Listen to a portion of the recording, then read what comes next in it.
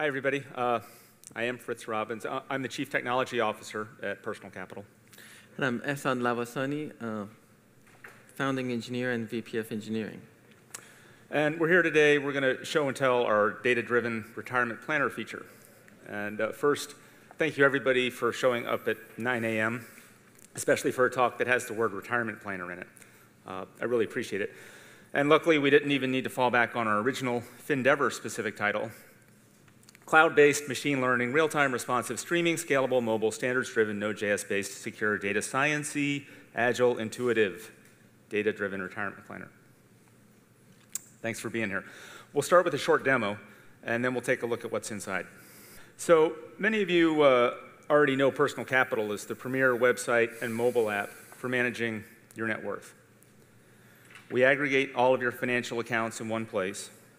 We help you with analytics to manage your short-term money, like your income and your spending.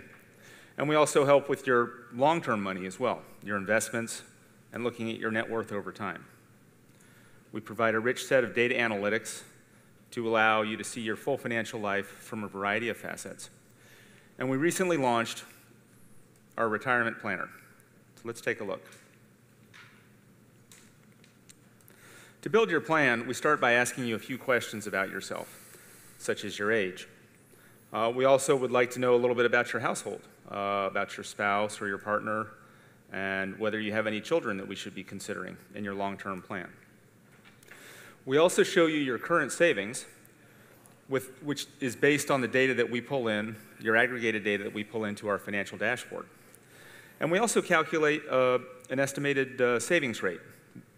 Again, looking at the transactions that are coming in on your financial dashboard, seeing how much you're saving each year. We do allow you to override these estimates and, and uh, uh enter your own data here if you want, but we'll talk a little later about why you actually might just want to use our estimates. We ask you about your risk tolerance. Uh, we plug automatically uh, estimates for Social Security. And again, we, uh, we come up with an estimate for spending uh, based on your current spending patterns that we pull in from your financial dashboard. Uh, you can either take our estimates or you can enter your own. And this takes you to a base plan. Now, our retirement planner puts everything in one place. Uh, we've got your projected portfolio value uh, throughout your lifetime. Uh, we take a look at your monthly uh, retirement spending ability, both your intended and needed uh, spending, as well as what we project that we, you'll actually be able to support over time. We look at uh, your income and the spending goals that drive your financial plan, and we provide a summary of how you're doing. Now, in this case, uh, the plan is looking, uh, well, looking a little dismal uh, because your uh, current spending and pr projected spending is much higher than your anticipated uh, uh, cash flow throughout retirement. So let's take a closer look. Um, in looking at, the, looking at spending, we do plan for retirement. Most people you know, would like to be able to not work right up until the day that they die. And so we, we build in a goal for retirement, and we build in uh, some, some planned spending. But we also allow for other major financial life goals, such as your children's education. Uh, you can enter um, if you want to do a home purchase or a major renovation, a wedding. Uh, if you really strike it rich, maybe you want to buy a boat or an airplane. Now, in this case, with the, uh, with the plan not looking good, we also want to think about what's going on on the, on the income side of things. Uh, as you see here, we've, we've inferred your current savings uh, uh, for you and projected growth over time based on asset allocation. And we'll talk about that in a little bit.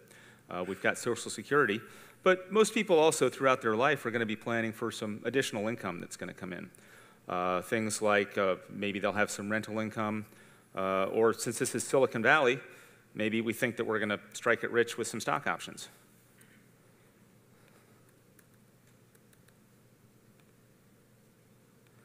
So when we add these income events into our plan, well, things are starting to look a little better.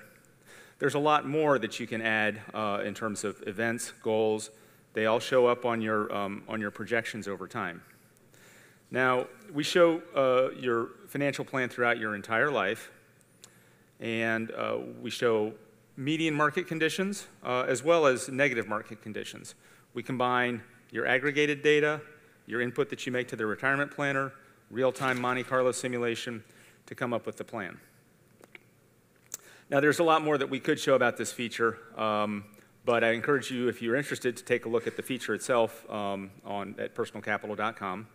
Um, I do want to touch on a couple of things, though, that are, that are interesting. First is our intention with the user interface to make it uh, uh, both easy and, and hopefully fun to you know, add goals, add income events, uh, see how things are going to change for you over time. When you have your plan the way that you want it, uh, you save it as your plan of record.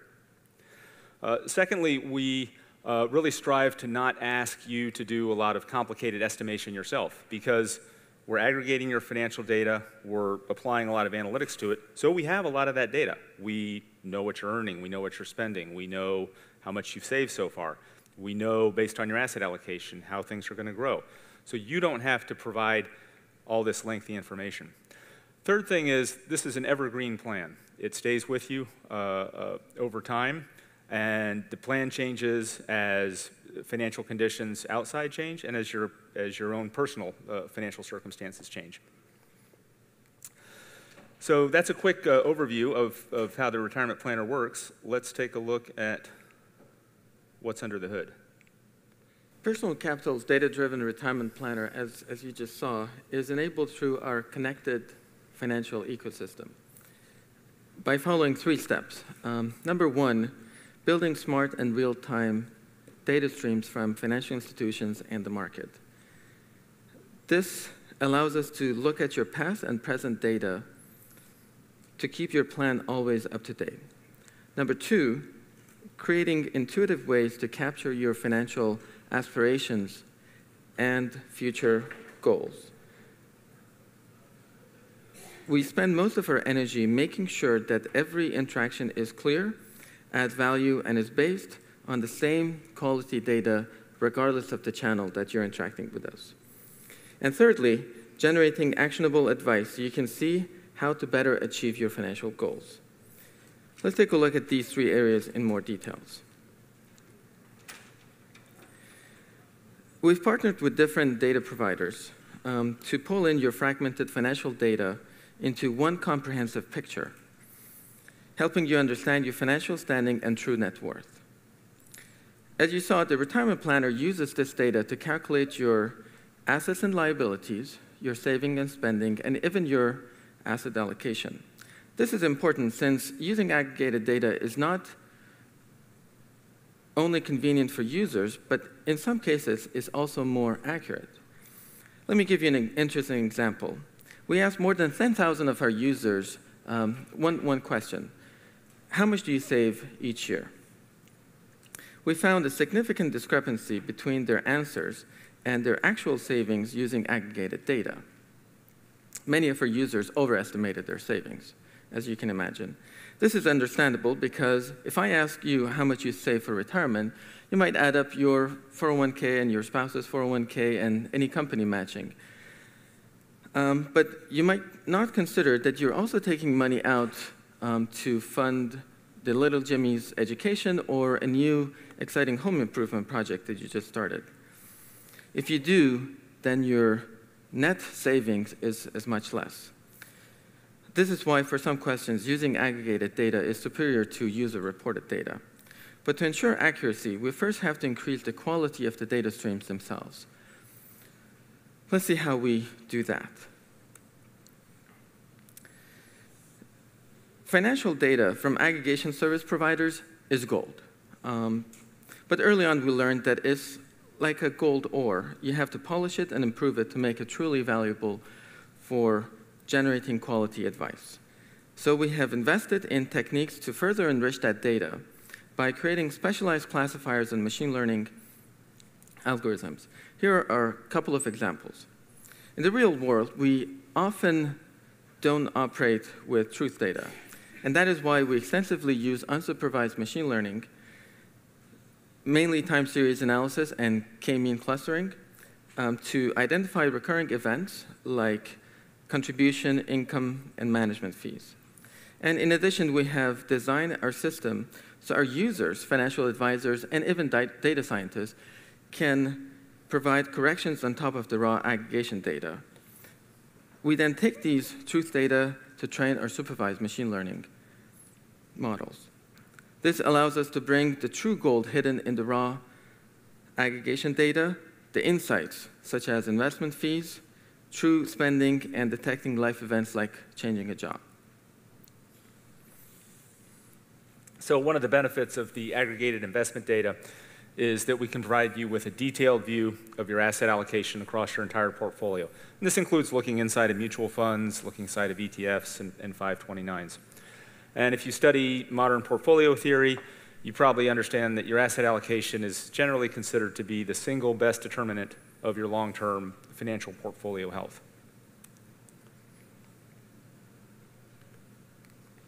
Each asset class has its own performance characteristics over time as well. And when asset classes are negatively correlated, uh, like when long-term stocks are going up, alternatives like gold are going down, this can help you manage your risk while also getting the upside benefits of asset values that are rising. And knowing your act actual asset allocation and then combining it with the performance of different asset classes over time allows us to simulate future performance of your personal portfolio under different market conditions. This also allows us to keep your retirement plan up to date with large movements in the market. Did anybody's uh, portfolio go down a little bit in the last couple of months? If your retirement plan needs a review, uh, we'll send you a notification.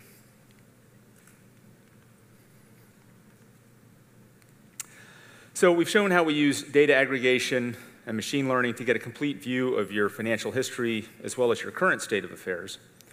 But planning is about the future. It's about capturing your life goals and creating a plan to meet those goals. So we help you to enter your goals through your interactions with us, through all of our product channels, such as web, mobile apps, as well as through conversations with your financial advisor. Has anybody ever had the experience when you go to sign up for a financial service at your bank or your credit union and you have to re enter the same information? It's almost as if their different subsystems uh, uh, weren't connected and they didn't really know anything about you. Um, at Personal Capital, we've connected uh, all of our data stores so that you never have to enter the same data twice. Every communication, notification, every conversation with an advisor, all of our advice is based on the same high quality data. As the picture here shows, we've also integrated our UI uh, with the CRM, Salesforce, that our advisors use. So the advisor and you are seeing your data in the same way, looking at your retirement plan in the same way, and creating a meaningful and insightful conversation. And just as important as the UI integration uh, is the deep data integration that we do on the back end between our data stores and Salesforce using our multi-source data pattern. To successfully model a user's financial life, we need to connect to multiple data streams and data sources. Um, data from aggregation services, data gathered during a conversation with one of our dedicated financial advisors, data gathered during um, using the website or the mobile app, or data inferred from our machine learning systems. If you asked us what was the number one design pattern that enables such system, our answer would be multi-source data architecture. The idea is simple. Track every value change for a data element and the data source of that value. And allow different data sources to take priority depending on the context in which the data is being used. Let's take, let's take the example of a client's risk tolerance, for example, conservative or aggressive, etc. Now, when you start using you know, our service, you might answer a question about your risk tolerance and say that you're aggressive. We would store that and identify the source as user. But in a conversation with your dedicated financial advisor, when you get more insight into what that really means, you might agree that you're more moderate. We store that value as well and mark, mark it as source advisor. We also run our own machine learning algorithms on your aggregated data. And when we see that you're holding 40% of your cash, I mean your portfolio in cash, we then mark your risk tolerance as conservative. and we store this value as well and mark, it, mark the source as app. Now, with the addition of each, data source, how do we know which one to use? We do two things. Number one, we apply data hierarchy based on the quality of the data source. And second, when appropriate, we corroborate multiple data sources to come up with the best um, data element. With this design pattern, we significantly increase the quality of our master data. We make integration with other data providers simpler, and our users always have access to the best data from the most trusted source. The third part of our connected financial ecosystem is generating advice. Our advice and communication engine, that we call it ACE, is how we embody the knowledge and wisdom of our financial advisors and, and our investment committee so that we can deliver quality personalized advice at scale. Here's how it works. We generate facts based on your aggregation data and your financial goals. Some are simple facts like risk tolerance, and others are complex, complex historical calculations. We then listen to the right triggers to generate the right advice for the right set of users.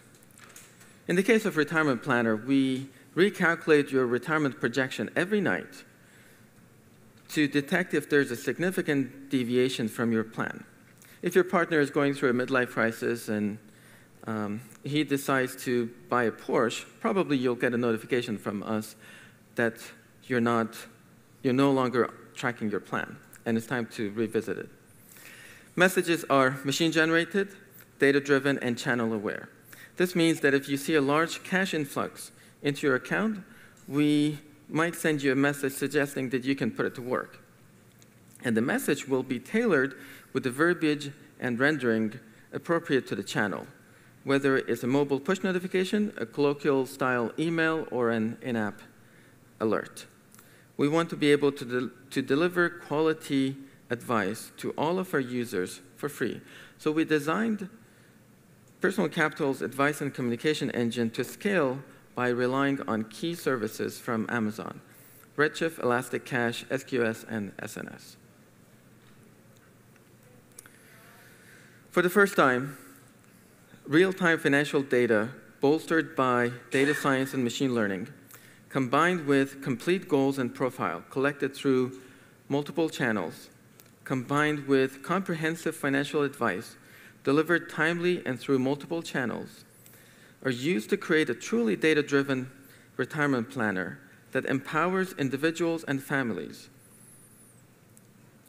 to see the long-term impact of their short-term financial behavior and help them get ready for retirement and have a better financial life. Thanks. And I think we'll take any questions in our remaining 49 seconds. So we did get a lot of questions. Um, it's hard to choose from, but let's see. Um, we'll go with how does this compare to other leaders in the advisor market, like financial engines companies? Uh, well, financial engines um, is uh, there are there are a lot of um, good advice services out there. Financial engines does a good job, uh, specifically focused on uh, looking at your 401ks. Um, couple, a couple differentiators. One of the things that, uh, that we really try to do is to give you a broad, comprehensive view of your entire financial picture. So that's not just the accounts that we're managing, but things that you have at, at other brokerages, your banks, your credit cards, your loans, investment property, et cetera. So um, it's really not necessarily a, a, a question of, of depth, in this particular case, but, but of breadth. We want to give a 360 view of your entire financial picture.